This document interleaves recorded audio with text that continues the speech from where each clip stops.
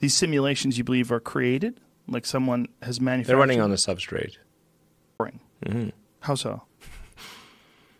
Well, when we create a simulation, like a game or a movie, it's a distillation of what's interesting about life. You know, like it, it takes it can take a year to shoot an action movie, and then that's all distilled down into two or three hours.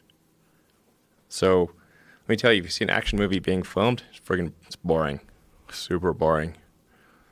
It takes there's like lots of takes. There's everything's in a green screen. Looks pretty goofy. Doesn't look cool. But once you add the CGI and have great editing